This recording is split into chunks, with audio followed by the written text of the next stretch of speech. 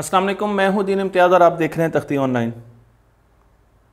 दुनिया में कौमें अपने मुल्कों में बड़ी बड़ी बिल्डिंग्स बनाती हैं, ऊँची लंबी बिल्डिंग्स बनाती हैं, और उसकी वजह अपनी ताकत को ज़ाहिर करना है, और आने वाले लोगों को अपने मुतालिक बताना है। आज आप देख सकते हैं कि दुनिया में किस तरीके से ऊँची और अच्छी खूबसूरत क्रिएटिव बिल्डिंग्स बनाने की एक जंग शुरू है। लेकिन ये जंग आज से शुरू नहीं है। ये जंग अगर हम वक्त में पीछे जाएँ तो आज से पाँच हज़ार साल पहले से शुरू है। और उस वक्त बनाए गए दुनिया के सबसे बड़े अहराम, जिन्हें अहराम मिस्र कहा जाता है। अहराम मिस्र के बारे में हैरतनाक बात यह है कि 3500 साल तक ये दुनिया की सबसे बुलंद तरीन इमारत रहे हैं। 3500 साल तक। और चौदहवीं सदी में इनसे ज़्यादा बुलंद इमारतें इंसानों ने बनाई हैं स्ट्रक्चर्स इंसानों ने बनाए हैं। 475 फीट ऊंचाई है इनकी और इनमें 20 लाख यानी दो मिलियन बड़े बड़े पत्थर लगे हैं। एक पत्थर का वज़न ढाई से लेकर डेढ़ टन तक हो सकता है। अहराम मिस्र एक शाहकार है, एक मास्टरपीस है, जिसे आज तक हम समझ नहीं सके। इंसान बहुत ज़्यादा रिसर्च कर रहा है, कोशिश कर रहा है, उसके स्ट्रक्चर को देख रहा है, उसके अंदर छुपे हुए मैथमेटिक्स को देख रहा है एस्ट्रोनॉमी को देख रहा है, लेकिन अभी भी हमें समझने के लिए बहुत ज़्यादा मज़ीद तहकीक की ज़रूरत है। हम देख सकते हैं कि हमें स्ट्रक्चर्स नज़र आते हैं, हमें साइड्स बराबर नज़र आती हैं, हमें एंगल्स नज़र आते हैं हमें ट्रिग्नोमेट्रिक रेशोज़ नज़र आती हैं, हमें पाए नज़र आती हैं, लेकिन हम अभी भी बहुत कम जानते हैं। मैं आपको लेके चलता हूँ आज से पाँच हज़ार साल पहले एक सिविलाइजेशन में, जो कि दरियाए नील के गिर्द बस रही थी। दरियाए नील के पानी से ये लोग खेती बाड़ी करते थे दरियाए नील का पानी जब अपने किनारों से बाहर निकलता था फ्लडिंग होती थी तो इनके घर मादूम हो जाते थे। इस सिविलाइजेशन को परेशानी का सामना होता था। और जब दरियाए नील का पानी कम हो जाता था तो यहाँ पर कहत और गज़ाई अजनास की कमी वाक़ हो जाती थी। लेकिन इस सिविलाइजेशन को एक और भी शौक़ था। ये सिविलाइजेशन अपने मुर्दा लोगों को प्रिजर्व करती थी। उनको मम्मी की शक्ल दे देती थी मम्मीफिकेशन करती थी। और इनका यह ख्याल था कि उनकी रूहें बाहर जाएँगी और कुछ अरसे के बाद दोबारा उनके जिस्म में वापस आएँगी। तो जब भी कोई इंसान मरता था तो सबसे पहले उसको नहलाया जाता था, साफ़ किया जाता था। और उसके बाद उसके जिस्म को खुश करके उसके तमाम जिस्म के बॉडी ऑर्गन्स उनको बाहर निकाला जाता था सवाए दिल के। सिर्फ़ दिल हमारे जिसम में रहता था, बाकी तमाम ऑर्गन्स निकाल दिए जाते थे। और उसके बाद उसको प्रिजर्व करने के लिए मुख्तलिफ़ किस्म के सॉल्ट्स नमकियात लगाई जाती थी। नमकियात लगाने के बाद उसे रैप किया जाता था, बा और रैप करने के बाद सील करने के बाद उसे एक ताबूत में रख कर एक मकबरे में रख दिया जाता था। तो ये मम्मीफिकेशन का स्टैंडर्ड प्रोसीजर था। मकबर बनाने का इनको बहुत ज़्यादा शौक़ था और हर आने वाला बादशाह फ़िरौन चाहता था कि वो पुराने बादशाह से बड़ा मकबरा बनाए। और इस रेस में इन्होंने अहराम मिस्र बनाए। लेकिन शुरू शुरू में तो इन्होंने रेक्टेंगुलर मकबरे बनाए। अहराम की शक्ल के मकबरे नहीं बनाए। इनके मकबरे मैं आपको तस्वीर में दिखा रहा हूँ रेक्टेंगुलर किस्म के थे। लेकिन फिर एक बादशाह आया, फेरू आया, जिसे कहा जाता है जोज़े। और जोज़े ने सोचा कि वो ऐसा मकबरा बनाएगा अपना जो दुनिया ने पहले नहीं देखा होगा। और उसने अपने आर्किटेक्ट, डिज़ाइन इंजीनियर, जिसका नाम इम्होटेप है, इम्होटेप तारीख का एक बहुत बड़ा करेक्टर है, उसे कहा कि मुझे एक ऐसी इमारत चाहिए जिसे दुनिया दूर दूर से देखने आए। इमोटेप ने एक डिज़ाइन बनाया और ये डिज़ाइन था पैरामिड का। ये पैरामिड सिक्स फोल्ड था। आपको तस्वीर में भी नज़र आएगा, इसमें आपको छः लेयर्स नज़र आ रही हैं। और इसमें इमोटेप ने जो टेक्नोलॉजी इस्तेमाल की, वो लाइम की, चूने की बड़ी बड़ी ईंटें बड़ी बड़ी ईंटें जो टनों के हिसाब से वजनी होती हैं, उनको इस्तेमाल किया गया।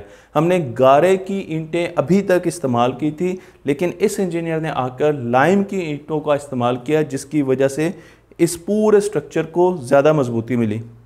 पैरामिड एक स्टेबल स्ट्रक्चर है, उसका सेंटर ऑफ़ ग्रेविटी बहुत नीचे होता है, बेस बहुत बड़ी होती है, ऊपर इमारत छोटी होती है, इसलिए आप उसको एक्सपैंड कर सकते हैं। तो एक स्टेबल स्ट्रक्चर है और एक्सपेंडेबल स्ट्रक्चर है। 20 साल तक इमोटेप ने और उसके वर्कर्स ने इस पर काम किया और इस छः स्टेप के एक बहुत बड़े पैरामिड को तश्कील दिया, जिसे स्टेप पैरामिड कहा जाता है। फिर आहिस्ता आहिस्ता फेरूज आते गए और जाते गए। लेकिन कुछ जनरेशन के बाद फिर एक और फेरू एक और बादशाह आए, मिस्री, जिनका नाम है स्निफ्रो इन्होंने सोचा कि ये भी अपनी मौत के बाद एक बड़े मकबरे में दफन होना चाहेंगे। सो इन्होंने अपने इंजीनियर्स को कहा कि मुझे एक बहुत बड़ा मकबरा चाहिए जो कि पहले बनने वाले मकबरों से पैरामिड से बड़ा तो इनकी टीम ने मकबरा बनाना शुरू कर दिया, बिल्कुल वैसे ही स्टेप मकबरा बनाया। लेकिन जब वो मकबरा बन रहा था तो इन्होंने कहा, बादशाह ने कहा कि स्टेप्स को भर दिया जाए बाहर एक आउटर कोटिंग से। और ये कोटिंग की गई लाइन की। चूने की। लेकिन इस कोटिंग के दौरान ही, जब ये कोटिंग हो रही थी तो ये कोटिंग क्लैप्स हुई और साइडों से बिखरना शुरू होगी, क्रैक होगी, नीचे गिर के आज भी ये अधूरा पैरामिड हमें मिस्र में नज़र आता है। लेकिन ये दिल बर्दाश्ता नहीं हुए, इन्होंने कहा दूसरी अटैम्प्ट करते हैं, मैंने मरना तो है ही और मकबरा भी होना चाहिए।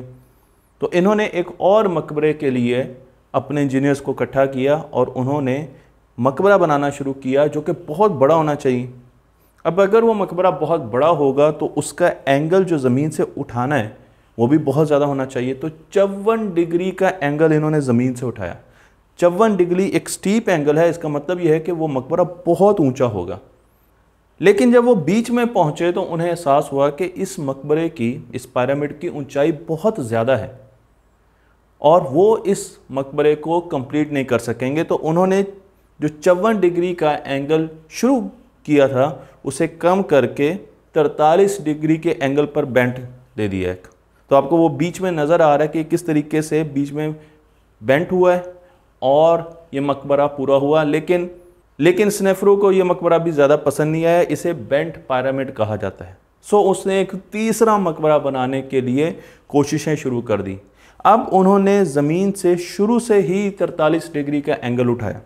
चौवन डिग्री का एंगल नहीं उठाया, उनको पता चल चुका था एक्सपीरियंस हो चुका था कि चौवन डिग्री के एंगल पर हम ये काम नहीं कर सकेंगे। तो जब तरतालीस डिग्री का एंगल उठाया तो ये पैरामिड कंप्लीट हुआ, जिसे रेड पैरामिड कहा जाता है। आप देख सकते हैं। इस कामयाबी के बाद स्नेफरो के बेटे कुफू, उसका हौसला बहुत बड़ा और कुफू ने सोचा कि वो अपने बाप से भी बड़ा मकबरा बनाएगा। और कोफू ही वो बादशाह है, वो फेरू है, जिसने पैरामिड ऑफ़ गिज़ा जो कि आज दुनिया के आठ अजूबों में से एक अजूबा है, उसको तश्कील दी, उसको बनाया। तो मैं आपको इस पैरामिड के बारे में बताता चाहूँ कि ये 12 एकड़ ज़मीन पर मुश्तमिल है और इसकी बनाने में दसियों हज़ारों लोगों ने काम किया, हिस्सा लिया। हम बहुत अरसे तक ये समझते रहे कि ये सारे के सारे ग़ुलाम थे, मिस्री ग़ुलाम थे। लेकिन आज की जदीद रिसर्च ने हमें बताया, क्योंकि हमें रिसेंटली फॉसल्स मिले हैं, इसी मकबरे के नीचे से फॉसल्स मिले हैं वर्कर्स के, और उन फॉसल्स के साथ वहाँ पर बहुत से मोन्यूमेंट्स रखे गए थे। उन फॉसल्स के साथ तोहफे तहफ़ रखे गए थे, जिससे हमें अंदाज़ा होता है कि ये ग़ुलाम नहीं थे। और उसके साथ साथ वहाँ पर मैन्यूस्क्रिप्ट भी थे तहरीरें थी ऐसी जिसमें बताया गया था कि ये बहुत ज़्यादा स्किलफुल लोग थे जो दुनिया से बुलाए गए थे और इन्होंने इस मकबरे को बनाते हुए अपनी जान दी। तो उससे हमें अंदाज़ा हुआ कि एक तो ये मकबरा सिर्फ़ हथौड़ी और छैनी, चीज़ल और हैम्बर से बना है। उसके अलावा बहुत एडवांस किस्म के टूल इसमें इस्तेमाल नहीं किए गए। लेकिन इसको गुलामों ने नहीं बनाया, बल्कि इसको स्किल लेबर ने बनाया। अब एक और सवाल साइंसदानों को बहुत तंग कर रहा था कि इतने बड़े बड़े ढाई टन के पत्थर आखिर ऊपर तक गए कैसे? इतनी बुलंदी तक 400-475 फीट तक कैसे गए? और उसके लिए हमारा ये ख्याल है कि बहुत बड़ी रैंप्स बनाए गए, स्लोप बनाई गई, जिस तरह अस्पतालों में स्लोप बनाई जाती है मरीजों के लिए, इस तरीके से रैंप बनाए गए, जिसके ऊपर से इन पत्थरों को खींच कर रोप के ज़रिए और स्लाइडर्स के ज़रिए ऊपर लेकर जाया गया। यहाँ पर यह भी बता दूँ कि हमें यह भी शवाहद मिले कि ये पत्थर दूर दूर से आए। तो दरियाए नील में कश्तियों के ज़रिए लाइम के ये पत्थर दूर दूर से आए और उसके बाद आगे स्लोप थी। अब स्लोप या रैम्प उसका एंगल भी बहुत अहम है। अगर आप रैम को बहुत करीब से उठाएँगे एहराम मिसर के तो उसका एंगल बहुत ज़्यादा होगा। एंगल ज़्यादा होगा और फोर्स भी ज़्यादा लगानी पड़ेगी, बहुत ज़्यादा हिम्मत करनी पड़ेगी उसको ऊपर तक लेके जाने के लिए। लेकिन अगर लोगों के लिए अपने काम आसान करना है, इन पत्थरों को स्लाइड करके लेकर जाना है तो आपको रैम्प बहुत दूर से लानी पड़ेगी। और जब आप रैम्प दूर से शुरू करेंगे तो ये कई मीलों का सफ़र है जो कि उनको इख्तियार करना पड़ेगा। तो अभी तक हम कंफ्यूज हैं, हमें अंदाज़ा नहीं है कि ये पत्थर ऊपर तक कैसे गए। आप कह सकते हैं कि ये पत्थर हो सकता है कोई खलाई मखलूक हो, जो कि ऊपर लेके गई हो या जिन लेके गए हैं, लेकिन हमें जितने भी साइंटिफिक एविडेंस मिले हैं, वो सारे के सारे ये बताते हैं कि ये मिस्रियों का अपना काम है और किसी और से इसको लिंक करना मिस्रियों के साथ ज़्यादती होगी। इस मकबरे के अंदर अगर हमें देखें तो हमें अंदर बहुत से स्ट्रक्चर्स नज़र आते हैं, जिसमें दो छोटे छोटे मकबरे हैं, एक तो आपको जो बादशाह है, कुफू उसका है और एक उसकी क्वीन का है। तो आप देख सकते हैं कि बीच में हमारे पास बहुत से एयर के वेंटिलेशन के पैसेजेस भी हैं, लेकिन इन मकबरों को हम अभी भी बहुत ज़्यादा एक्सप्लोर कर रहे हैं और कुछ अरसे पहले साइंसदानों का ख्याल, उनकी रिसर्च ने बताया कि शायद और चैम्बर भी यहाँ पर हो सकते हैं, लेकिन वो भी हमें मिले नहीं हैं। साथ साथ हमें दो एयर शाफ्ट नज़र आती हैं, जो कि तस्वीर में मैं आपको दिखा रहा हूँ, एक का एंगल इकतीस डिग्री का है, दूसरा पैंतालीस डिग्री का है। बहुत अरसे तक हम ये समझते रहे कि ये एयर शाफ्ट हवा के लिए है कि हवा इस पैरामिड में अंदर आती रहे वेंटिलेशन के लिए। लेकिन अब हमें अंदाज़ा हुआ, जब हमने मॉडर्न एस्ट्रोनॉमी को पढ़ा तो हमें पता चला कि ये दोनों चैम्बर्स या शाफ्ट्स पॉइंट कर रही हैं दो अलग अलग स्टार कंस्टलेशन की तरफ़। मिस्रियों के मेन्यूस्क्रिप्ट से हमें पता चलता है कि वो ये समझते थे कि इंसान जब मरता है तो उसकी रूह ऊपर चली जाती है और वो एक सितारे की तरह चमकना शुरू हो जाती है। तो उसके लिए आसानी के लिए ये कंस्टलेशंस, ये शाफ्ट्स बनाई गई थी। हमें ऐसा लगता है ये हमारी अपनी सोच है। लेकिन अभी भी इस पैरामिड में बहुत सी ऐसे राज छुपे हुए हैं जिनको हमने ढूंढना है। लेकिन साथ साथ इसके स्ट्रक्चर में, इसके डिज़ाइन में मैथमेटिक्स का भी बहुत ज़्यादा इस्तेमाल किया गया, जो कि मैं आने वाली वीडियोस में आपको बताऊँगा और हमें अंदाज़ा होगा कि मिस्री मैथमेटिक्स में और ज्योमेट्री में बहुत अच्छा नॉलेज रखते थे। मुझे उम्मीद है कि आपको ये वीडियो पसंद आई होगी। तख्ते ऑनलाइन को लाइक कीजिए, शेयर कीजिए और इस इल्म को दूसरों तक पहुँचाते रहिए।